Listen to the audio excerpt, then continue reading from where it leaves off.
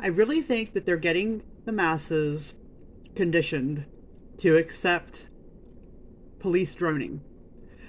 And this headline is from CNN. I will put links in the description if you want to read it for yourself. It says New York Police Department to deploy drones to monitor Labor Day weekend gatherings, raising civil liberties concerns. And everybody's concerns should be raised because this is not leading to a good place. It says the New York City Police Department will deploy a fleet of high tech drones during the Labor Day weekend to monitor complaints about large gatherings associated with West Indian American Day celebrations, a tactic that has been denounced by civil liberties advocates, police enforcement for the yearly festivities, which culminate on Monday and have previously been marred by violence, have been reworked in recent years. NYPD officers are now paired with representatives of the Department of Buildings and other city agencies to tackle non emergency complaints such as noise. Authorities have said those complaints are usually a precursor to violence. Mayor, Mayor Eric Adams, a former NYPD officer himself, has pushed back against criticism of the pol- policing tactic. The technology isn't to spy on revelers, but to better deploy officers and crisis management teams, he said at a Friday briefing. Yeah, for now.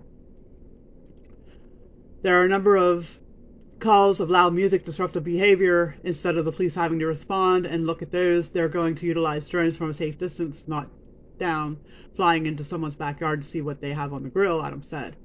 They're going to utilize the drones to determine should they send crisis management teams there right away to help mitigate the problem. Yeah. And this is just the beginning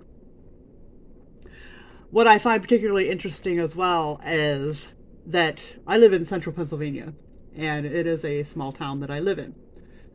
And this town celebrates Goose Day big time. And Goose Day is on September 29th. Now, this year, and normally they don't do anything like this. Like, they don't have fireworks, they don't have festivities. It's just a day. A lot of the area restaurants will have goose because it's kind of like eating sauerkraut on New Year's. So this year they're going to have a drone show. And I find that interesting, especially considering that this is a town that likes to claim they don't have money for like the fireworks for the 4th of July or to open up the local swimming pool. Things like that. They don't have enough money for that, but they're going to go above and beyond for Goose Day and do a drone show. And to me, it's all about conditioning the masses to accept these drones as being something wonderful. And they're going to bring them in to help police people. And eventually, they, they are going to be the police. As far as I'm concerned, it's all heading towards AI. They're going to replace everything they possibly can. And that would include police. So I'm just sounding the warning bell because that's what I see as happening. That's they're making it a good thing because it's a show and it's pretty and it's nice and people go ooh and all and they'll love it.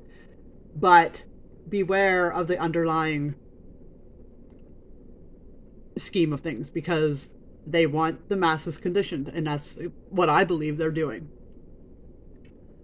As always, put your faith and trust in Jesus, repent of your sins, and have a blessed day.